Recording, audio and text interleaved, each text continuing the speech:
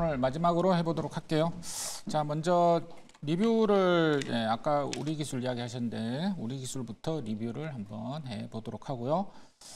자, 생생 한마디는 오늘도 이제 트럼프 관련주 이야기 들어보도록 하겠습니다. 우리 기술은 이제 2차 목표가가 예, 좀운 좋게 달성됐어요. 3,195원인데 예, 3,195원 보시면 예, 3,300원을 찍고 어, 약간 급락 비슷하게 나왔습니다. 그죠? 자, 7월 8일 날 제가 매수를 했어요. 7월 8일이면 이제 복귀를 좀 하자면 복귀를 이제 이렇게 되돌아갑니다. 그죠? 7월 여기가 이제 7월 8일입니다. 여기 여기. 예. 어, 제가 이제 돌파 매매를 할 때 예를 들어 가지고 어, 이 네모친 자리 있죠. 음, 네모친 자리 흘러내리는 자리라 그럽니다.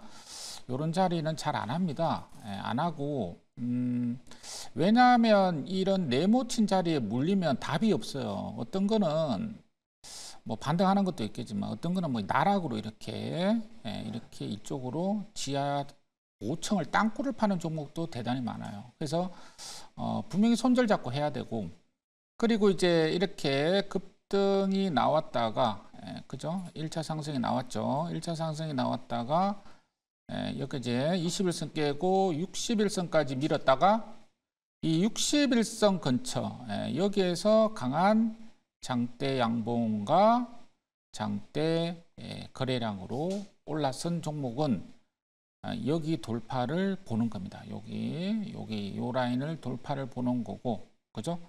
돌파를 보는 거고 그 돌파는 지수가 좋아야 되고 섹터가 맞아 돌파가 됩니다. 이거는 이제 개별로는 돌파가 잘 안 되고 어 그때 시장의 핵심 섹터를 해야 된다 이렇게 이야기 드리겠고 자 여기서 이제 보시면 그 다음 날 이렇게 바로 올라가 버렸잖아요, 그죠? 그러니까 이런 것도 다 운인 겁니다. 운. 돌파 매매를 하다 보면 어, 솔직히 제가 하는 건 별로 없고 그냥 저는 삽니다. 예, 사고 땡겨주는 거는 세력대 땡겨주고 하늘이 땡겨주는 거고 여기서 이 장대 항봉에서 바로 땡길지 안 땡길지는 알 수가 없죠. 예, 근데 땡겨주는 거고 가끔씩 돌파 매매를 하다 보면 이렇게 그 다음날 장대 항봉 2연속 땡겨주는 것도 많아요. 그래서 지켜보고 그 다음에 이제 한 번, 둘, 셋, 넷, 한 번 더 땡겨줘.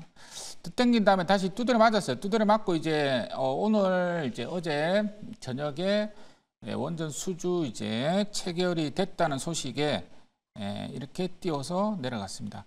그래서 원전 종목이 오늘 이제 이 원전 종목은 그 체코를 필두로 해가지고 많죠. 어, 아랍에미리트도 또 여전히 있고 향후 예정 계획이 티르키에도 있고 영국도 있고 뭐 되게 많아요. 그래서 유럽을 일단 뚫어놨기 때문에 체코를 물론 뭐 MOU지만 뚫어놨기 때문에 이 프랑스를 이겼다. 어, 그죠? 프랑스를 이기면 어, 다 이긴 겁니다. 예. 대적할 자가 없지 않나 이렇게 보여집니다. 미국, 러시아, 예.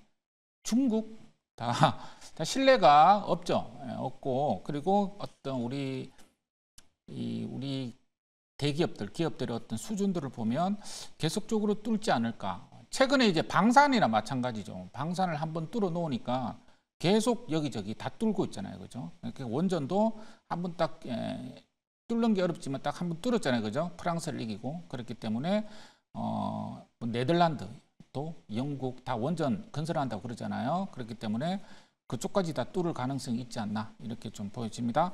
그래서 원전은 지금 오늘 좀 장대 음봉이 나고 있지만 예, 또한 몇 달 지나면 또 저점이 나올 거예요. 저점이 나온 다음에 다시 올라가지 않을까 이렇게 이야기 드려보도록 할게요. 자 그렇게 하고 또 뭐 종목은 이제 예, 오늘 여기까지 리뷰를 해 보도록 하겠습니다. 자 오늘 신규 종목을 해 보도록 할게요. 자 신규 종목은 자, 자, 이 종목을 이야기 드리기 전에 또 한 멘트를 좀 날려야겠습니다. 이게 어, 제가 오늘 이제 마지막 순서이지 않습니까? 첫 번째, 두 번째 순서였으면 잡혔어요. 어, 잡혔는데 지금 어, 공을 칠 예, 공을 칠 것 같아 가지고 음, 화성 밸브라는 종목입니다. 이거를 제가 11시에 볼 때 한 20%딱 올라가길래 이 오늘의 1등주다. 제가 이렇게 생각을 했는데 음, 상 들어 한 시간 만에 상 들어갔잖아요. 그러니까 이거는 지금 갈 길이 바 쁜데 1등을 하기 위한 갈 길이 바쁜데 공을 치고 앉아 있으니까 이게 1등이 안 되는 거죠. 자, 화성 밸브 차트 한번 볼게요. 이 화성 밸브 차트는 아까 말했던 그 우리 기술 차트하고 거의 비슷합니다. 이게 1차 상승이 일단 나왔어요.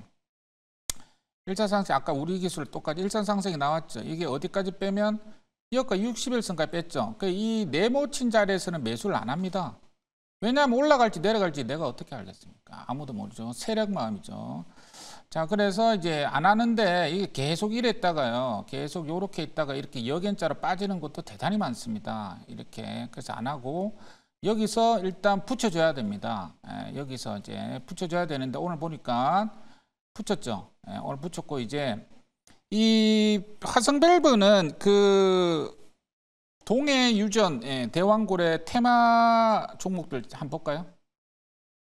먼저 가스공사입니다. 이 가스공사 제가 생수 가지고 있는데 이것도 마찬가지예요. 61선 붙었죠. 지금 올라올라 하고 있고 가스공사입니다. 그 다음에 포스코 인터내셔널도 제가 가지고 있는 종목입니다. 예, 이게 가지고 있죠. 다 올라왔어요. 지금 가스공사가 아 가스공사 올라온 게 아니라 대왕고래 종목들이 다 올라왔습니다. 그 다음에 동양철간의 이 동양철간이 3년상을 치면서 간 대왕고래 철간 1등주였습니다. 이 종목이. 예, 그리고 61선까지 뺐죠. 지금 차트는 거의 다 쌍둥이들처럼 다 똑같아요. 화성 밸브. 예. 똑같죠, 이거. 예, 똑같아요. 근데 상을 쳤죠. 공을 쳤고, 오늘. 그 다음에 넥스틸이 있죠. 넥스틸도 제가 했어요, 이거. 생쇼도 했고. 예, 지금 다시 올라오고 있죠. 그 다음에, 음, 신스틸? 뭐 이런 것들이 있습니다. 신스틸. 예, 이런 것들이. 그 다음에 뭐 또 태강, 성강밴드 이런 것들이 있죠. 그래서 일단 철강 그 한국 가스공사가 상칠 때 같이 올라간 철강주가 동양철강 화성밸브였습니다. 그래서 동양철강 근데 지금 천 원짜리 999원 왔다 갔다 하는 종목이기 때문에 예, 들어가기가 우리 생쇼 룰이기 때문에 들어가기 어렵고 그 다음 동양철강 다음이 바로 화성밸브였습니다. 얘가 지금 예, 요때 이제 이렇게 올라갈 때 대주주 매도가 나왔어요. 대주주 지분 매도가 나와가지고 꼬꾸라졌단 말이에요. 꼬꾸라져가지고 여기까지 뺐단 말이에요. 그죠? 여기까지 빼고 오늘 거래가 이 종목이 시총이 얼마냐면 990억짜리입니다.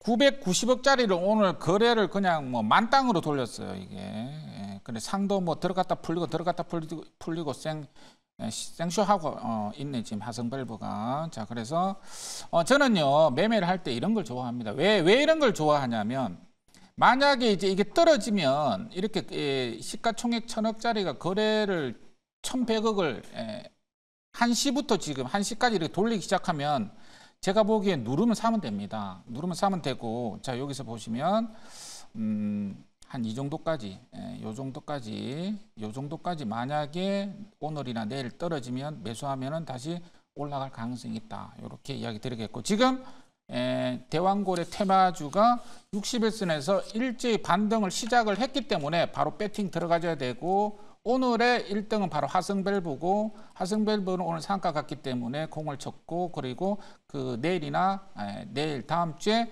눌림에서 들어가면 돌파다 이렇게 이야기 드려보도록 하겠습니다.